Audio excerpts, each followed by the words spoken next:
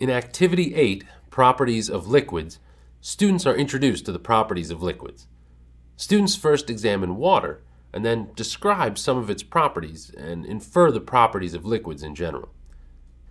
You will need the following materials from the kit Activity Sheet 8, 1 ounce plastic cups, 8 ounce plastic cups, petri dishes, sorting trays, plastic vials, red food coloring, and plastic spoons. You will also need to provide red crayons, felt tip marker, paper towels, a pitcher, and tap water. To prepare for the activity, make a copy of Activity Sheet 8 for each student. Before class, fill a pitcher with tap water. Add a few drops of red food coloring and stir with the plastic spoon. Then fill eight one ounce plastic cups with colored water. Make sure to have paper towels on hand during this activity so that students can wipe up any spills as they occur. Each team of four will need the following items in a sorting tray an 8 ounce plastic cup, a petri dish top or bottom, a plastic vial, and a 1 ounce plastic cup filled with colored water. Each student will also need a red crayon. To begin the activity, let students know that in this activity they are going to examine the properties of water. Borrow an 8 ounce plastic cup from one of the sorting trays and fill it with plain water. Hold it up to the class and have students describe the water in the cup.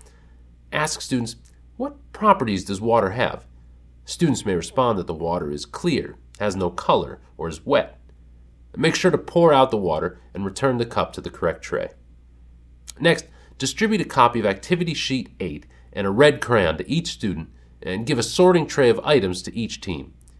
Inform students that you have added some food coloring to the water to make it easier to see. Then, have students complete question one of the activity sheet.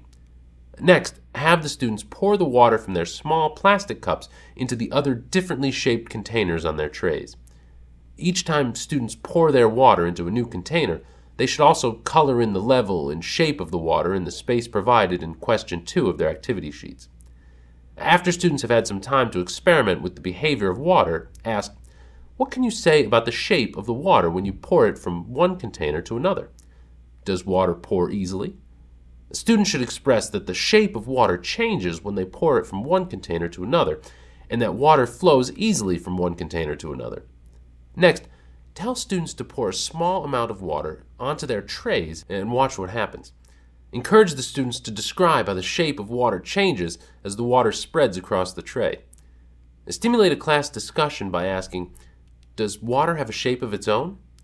Is water easy or hard to move from one place to another? guide students to conclude that water does not have a shape of its own, but rather takes the shape of the container it is in. Encourage students to think of other things that have the same properties of water.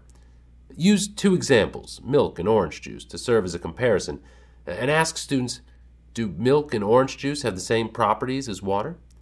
Students may suggest that milk and orange juice are wet like water, pour easily from one container to another, and take the shape of their container. Then ask students, what are some properties of milk and orange juice that are different from water? Students should say that milk and orange juice both have distinctive colors and smells, whereas water does not have a distinctive color or smell.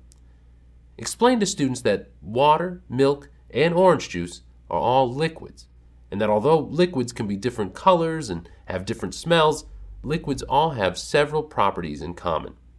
All liquids are wet pour easily from one container to another, and take the shape of their container. Record these properties on the Describing Properties chart under the heading Properties of Liquids. Finally, have students complete their activity sheets. Once students have finished their activity sheets, make sure to review student responses. To conclude the activity, rinse and dry the cups, petri dishes, and vials, and return all materials to the kit. Make sure to leave the describing properties chart on display in the classroom. For science background, reinforcement activities, curriculum connections, and information about the science reader, please consult your DSM Teacher's Guide.